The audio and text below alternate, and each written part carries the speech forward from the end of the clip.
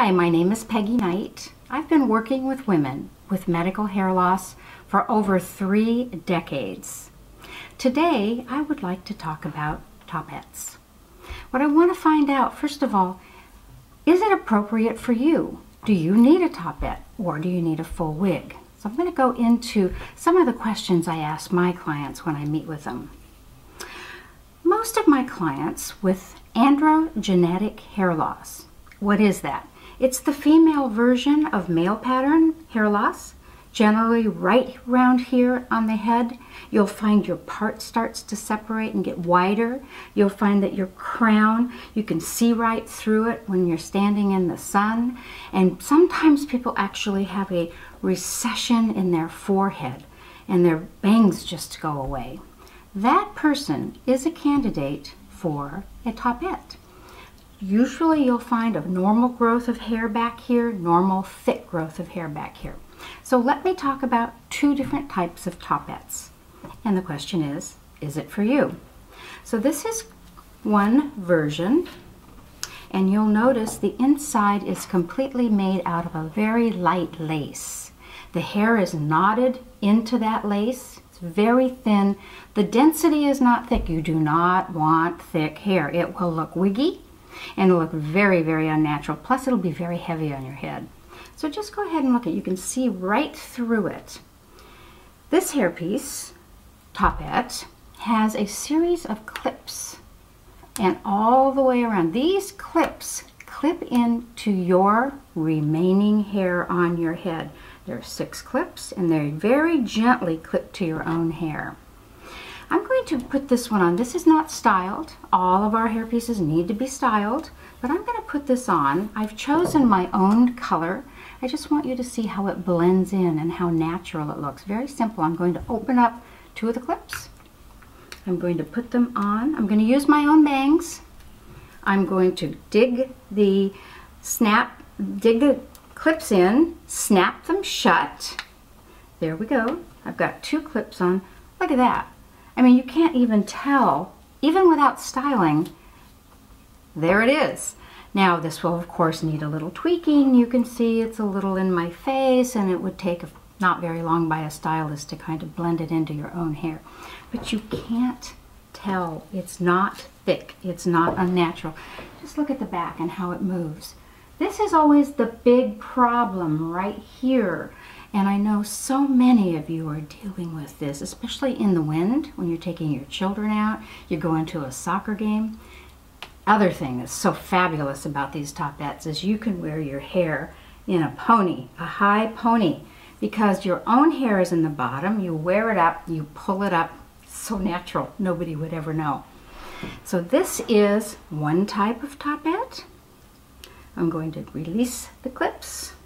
Very simple to do, by the way. You don't need any help from anybody. Just unclip, take it off. I'm going to run a brush through my own hair so I don't look like Bushwoman.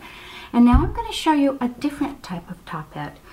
This is another level. This is, has a little different front hairline and a different part line. This is called our French part.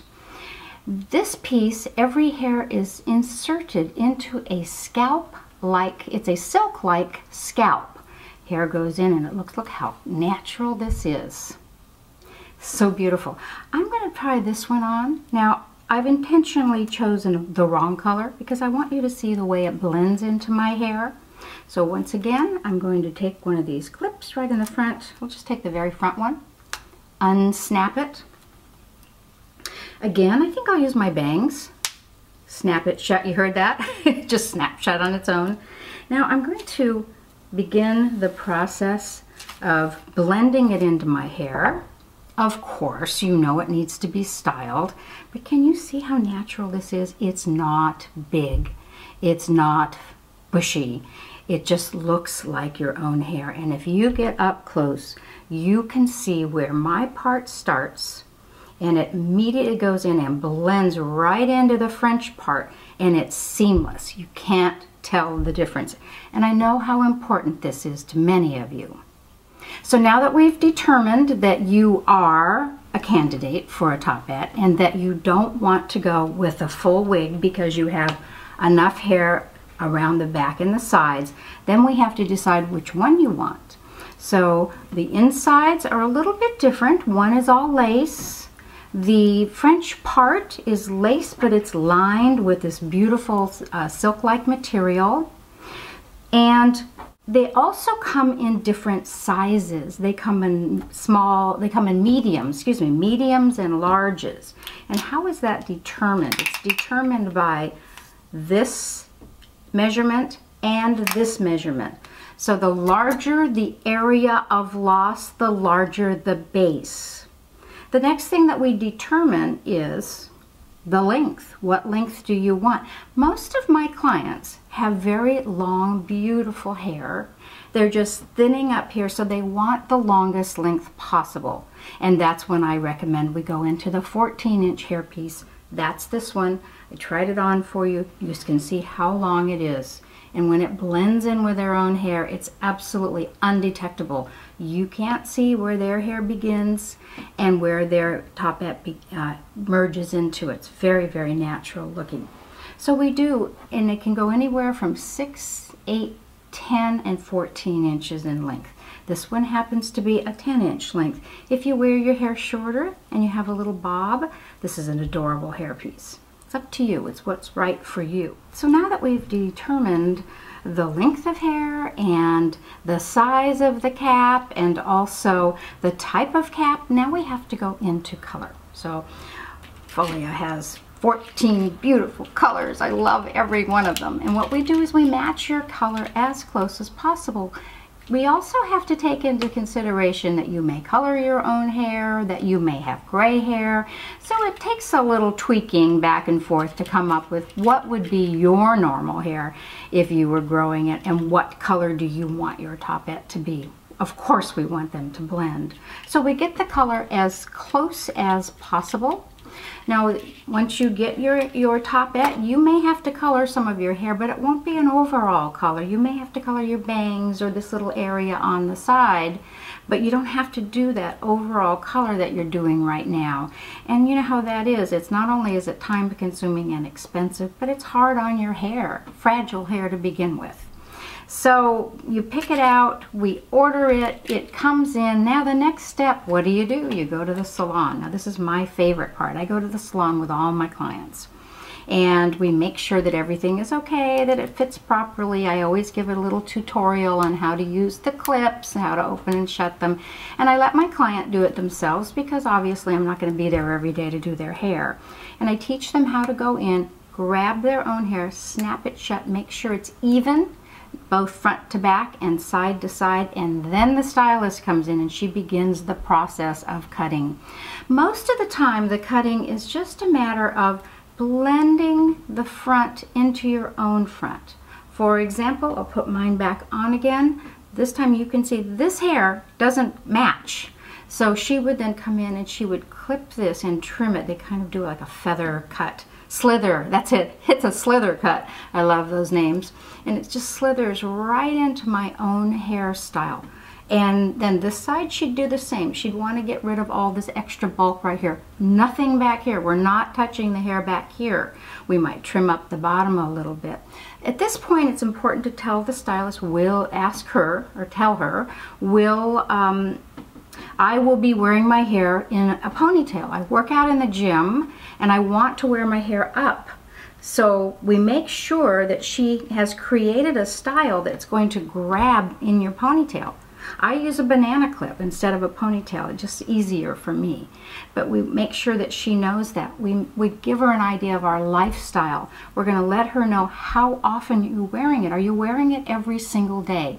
Do you wear it to bed? And I hope the answer to that is no. But if you do, we have to know that when we're cutting it. And we also have to take into consideration that there will be changes in hair color. Your hair will get grayer or it will not, depending on your age, but the hairpiece is going to get lighter. It just does. It's natural. It's oxidation. It's what happens. So you have to know that. You go back maybe nine months later, you say to the stylist, hey, look it, I'm noticing that my hair is getting a little blonde up here. What's, what's, what's up? And she'll say, oh, that's a normal process. Let's deposit some color and blend it into your own hair. Please don't do any coloring on your own. You will destroy your hair. Let the professional Follea trained hairstylist do the coloring for you.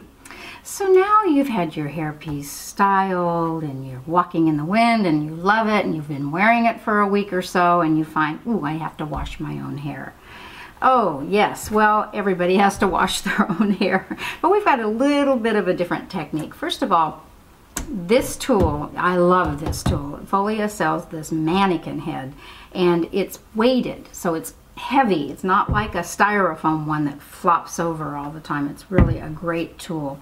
So you take your piece. The first thing you want to do is you want to brush all the tangles out because remember you've been walking in the wind, taking a hike, going to the gym and it's and it might be tangled. You're going to wash it, shampoo, conditioner. I have a great DVD and you should watch it and watch in detail how to wash it. Take this when it's damp, rinsed, you put it on the head and you can name your head by the way. Mine's Mary. So Mary and I are friends. So I take it as, as it's damp, I just brush through it. And what I do with my topette is I let it air dry. Why? Because it looks more natural. It is silkier. It is pretty when it's after it's dried. And then you put it on your head and then you can use your tools. You can use your flat iron or you can use your curling iron. I do caution you, don't use too many hot tools on your hair you can blow dry it if you want. It's going to dry it out a little bit. So let it naturally air dry. Look at this. Can you believe it? Look at this beautiful scalp. When it dries, it's going to look just like this. Going to blend into your own hair and as long as you're keeping your colors uniform and as long as you're clipping this on properly, not too far back, not too far forward, as long as you're washing it on a weekly basis, you're going to have beautiful hair. So the topette, I love it. And I think if you have thinning hair, you want to explore the topette. Let me know. I have sales reps around the country and they're just waiting to hear from you.